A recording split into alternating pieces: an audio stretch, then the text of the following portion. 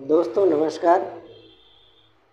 प्यारे दोस्तों, आप लोग कैसे हैं? आशा करता हूँ कि आप लोग बहुत ही अच्छे ढंग से होंगे। आप लोगों का हमारे इस वीडियो पर बहुत बहुत स्वागत है। आज हम लोग इस वीडियो में पैमाना पढ़ेंगे। पैमाना क्या है?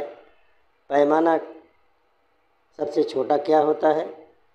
और जिसका लगभग सामान्य तौर से उपयोग होता है, आज उन पैमानों के बारे में हम लोग पढ़ेंगे। तो पैमाना नापने के लिए अलग होता है, तोलने के लिए अलग होता है और द्रव तरल पदार्थों को नापने के लिए अलग होता है। तो आज हम लोग इस वीडियो में पढ़ेंगे तौलने वाले पैमाने के बारे में आज पढ़ेंगे। तौलने वाले पैमाने की तरह ही तोलने वाले और मापने वाले भी होते हैं। तो इस तरह से आपको अगर ये मालूम हो जाएगा कि मापने वाला या तौल वाला पैमाना जो है, तौल वाला पैमाना जिस तरह का होता है सेम उसी तरह का और भी पैमाने होते हैं। तो आज हम लोग पैमाने में पढ़ेंगे कि पैमाना क्या होता है। तो चलिए हम वीडियो को स्टार्ट करते हैं। तो देखिए पैमाना पैमाना का इंग्लिश में कहा जाता है मेज़रमेंट।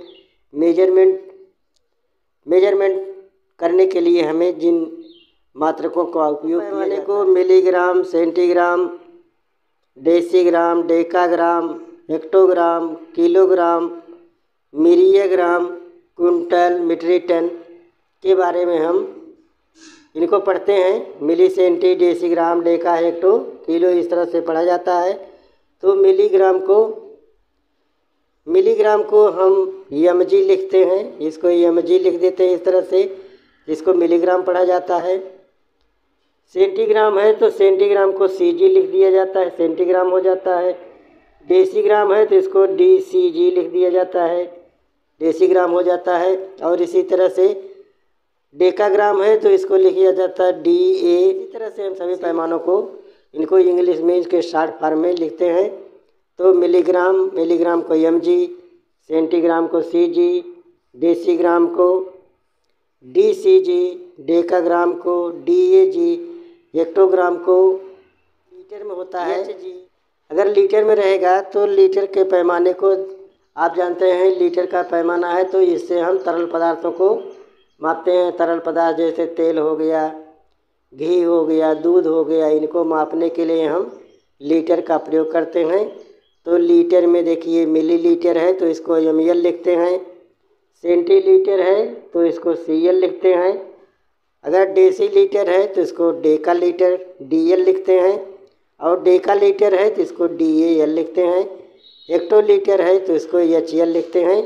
इस तरह से, और अगर किलो लीटर है तो इसको के एल लिखते हैं। माप का पैमाना अगर होता है तो उसको हम millimetre, centimetre, decimetre, decametre, hectometre, kilometre में मापते हैं तो इसी तरह से अगर किलो मिलीमीटर है तो मिलीमीटर को हम हिंदी में मिलीमीटर यम यम इस तरह से लिखते हैं। सेंटीमीटर। सेंटीमीटर इस तरह से लिखते हैं इसको साठ रूप लिखेंगे सेमी लिख देंगे और इसको इंग्लिश में लिखेंगे तो सी एम लिख देंगे। डेसीमीटर इस तरह से लिखते हैं और इसको साठ फार में हिंदी में लिखना होता है तो डेमी लिखते हैं और इसको इंग्लिश में डी एम लिखते हैं। इसी तरह से डेका मीटर है। तो डेका मीटर को देखिए डेका मी इस तरह से हिंदी में साठ फार में लिखते हैं और हिंदी इंग्लिश में जब इसको लिखते हैं तो इसको डी ए एम लिखते हैं। इसी तरह से हेक्टोमीटर है। हेक्टोमीटर को हेमी लिखते हैं। किलोमीटर को हम लिखते हैं।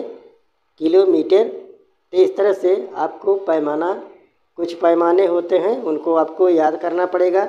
तो जैसे मान लीजिए इस तरह से आपको एक पैमाना देख रहे हैं कि इस तरह का पैमाना है। पैमाना देखिए, आपको पैमाना याद रहना चाहिए। इस पैमाने को आपको याद करना है। के लिए पैमाना 10 मिलीग्राम बराबर एक सेंटीग्राम 10 सेंटीग्राम बराबर एक डेसीग्राम 10 डेसीग्राम बराबर एक ग्राम और 10 ग्राम बराबर एक डेकाग्राम। डेकाग्राम बराबर एक हेक्टोग्राम और 10 हेक्टोग्राम बराबर एक किलोग्राम। और 10 केजी बराबर एक मिलियग्राम 10 मिलियग्राम बराबर एक कुंतल कुंतल बराबर एक मीट्रिक टन बराबर होता है एक हज़ार ग्राम, एक ग्राम बराबर होता है एक हज़ार मिलीग्राम। इसको याद करने का बहुत ही आसान तरीका है। देखिए, आपको इस तरह से याद करना है। आप एक सीढ़ी बना लेंगे तो देखिए, सीढ़ी बना करके उसमें आप लिखेंगे milli, centi, deci gram deca तो kilo, myria, quintal metric ton आप इसको इस तरह से याद कर सकते हैं कि milli, centi, deci, gram, deca, hecto, kilo, myria, quintal metric ton की सीढ़ी एक बना लो। आप इस तरह से अगर याद कर लेंगे कि milli, centi, deci, gram, deca, hecto, kilo myria, quintal metric ton की सीढ़ी, एक बना लो।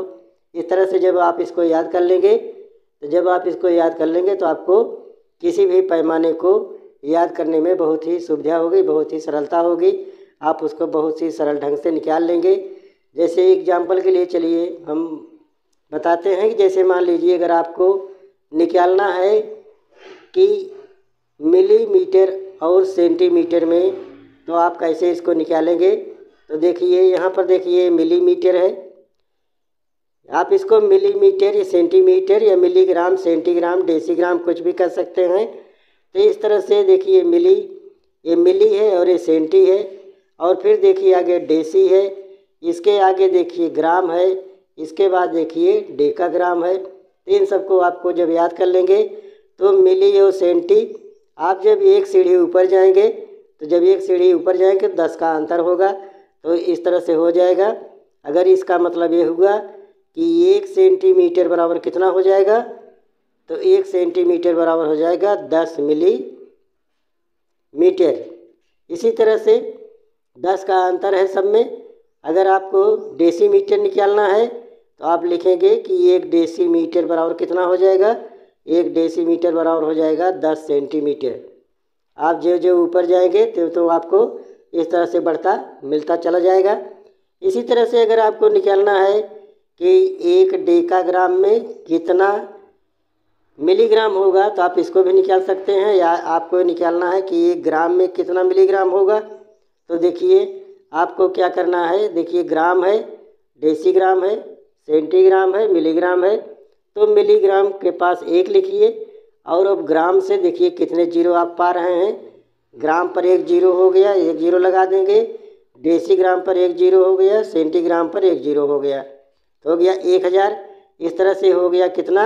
ये हो गया एक ग्राम बराबर एक हज़ार मिलीग्राम।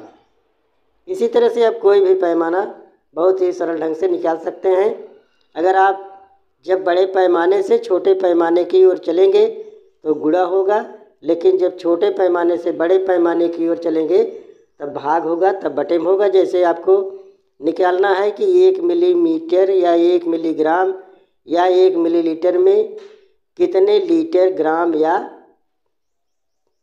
सेंटीग्राम या डेसीग्राम कुछ भी होगा तो आप उसको इस तरह से निकाल सकते हैं। जैसे आपको निकालना है कि एक मिली, एक मिलीलीटर में कितना सेंटीलीटर होगा तो चूँकि आप नीचे से ऊपर की ओर चल रहे हैं तो वो हो जाएगा एक मिलीलीटर बराबर एक बटे दस सेंटीलीटर। तो सेंटीलीटर में दस बटे में हो जाएगा। इसी तरह से अगर आपको निकालना है कि एक मिलीग्राम बराबर कितना ग्राम होगा तो एक मिलीग्राम बराबर हो जाएगा एक बटे एक हज़ार ग्राम। इस तरह से आपको निकालना है। तो आशा करते हैं कि आपको ये वीडियो पसंद आई होगी। प्यारे दोस्तों अगर ये वीडियो आप लोगों को पसंद आई हो तो हमारे चैनल को सब्सक्राइब ज़रूर कीजिएगा और हमारे वीडियो को लाइक करना मत कमेंट ज़रूर कीजिएगा। Thank you very much